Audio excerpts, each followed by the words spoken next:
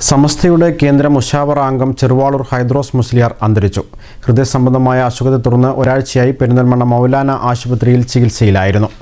പെരിന്തൽമണ്ണ ഏലംകുളം പാലത്തോളിലെ വസതിയിൽ പൊതുദർശനത്തിന് വെച്ച മൃതദേഹം വൈകിട്ട് അദ്ദേഹത്തിന്റെ ഓർമ്മ മണ്ഡലമായ തൃശ്ശൂരിലെ ചെറുവാളൂരിലേക്ക് കൊണ്ടുപോയി.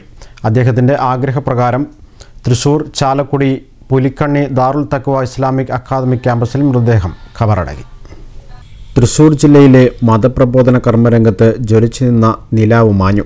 സമസ്ത കേന്ദ്ര കൂടിയാലോചനാംഗം ചെറുവാളൂർ ഹൈദ്രോസ് മുസ്ലിയാർ വിടവാങ്ങിയതോടെ സമസ്തയുടെ കർമ്മനിരതത്തിൽ പ്രധാനിയെയാണ് നഷ്ടമായത്.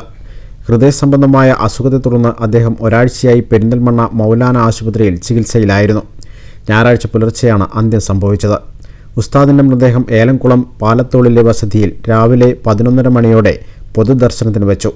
സംസ്ഥ president Jifri Muthukoya Thangal Panakkad Hyderali Shihab Thangal professor K Alikutty Musliyar M T Abdulla Ustad Kozhikode Ghazi Abdul Nasser high Shihab Thangal Panakkad Sadiqali Shihab Thangal Onampilly Muhammad Faizy Anamangad Muhammad Kutty Faizy Askar Ali Musliyar Cherukara K P C C Thangal തുടങ്ങി.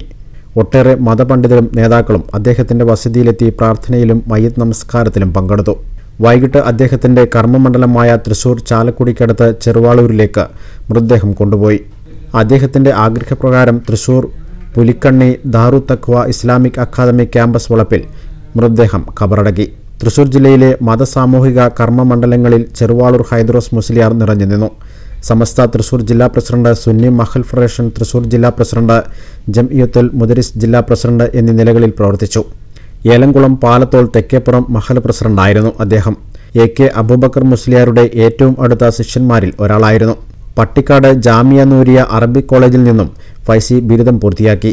സ്വദേശം പെരിന്തൽമണ്ണ ഏലംകുളമായിരുന്നെങ്കിലും പ്രവർത്തന മണ്ഡലം തൃശൂർ ചാലക്കുടിക്കടുത്ത് ചെറുവാളൂറായിരുന്നു അൻപത് വർഷത്തോളം ഇവിടെ കർമ്മരംഗത്ത് പ്രവർത്തിച്ചു. അങ്ങനെയാണ് ചെറുവാളൂർ ഉസ്താദ് എന്ന പേര് ലഭിച്ചത്. കേരളത്തിൽ അദ്ദേഹം പങ്കെടുക്കാത്ത പ്രാർത്ഥനാ സദസ്സുകളും മതപ്രഭാഷണ സംഗമങ്ങളും കുറവായിരുന്നു. അസാധാരണ കഴിവുള്ള വ്യക്തിത്വത്തിന് ഉടമയായ പണ്ഡിതൻ കൂടിയാണ് വിടവാങ്ങിയത് ന്യൂസ് ബ്യൂറോ പെരിന്തൽമണ്ണ. പ്രാദേശിക വാർത്തകളും വിശേഷങ്ങളും ആദ്യം അറിയാൻ Malabar online Facebook page like ചെയ്യുക യൂട്യൂബ് ചാനൽ സബ്സ്ക്രൈബ് ചെയ്യുക.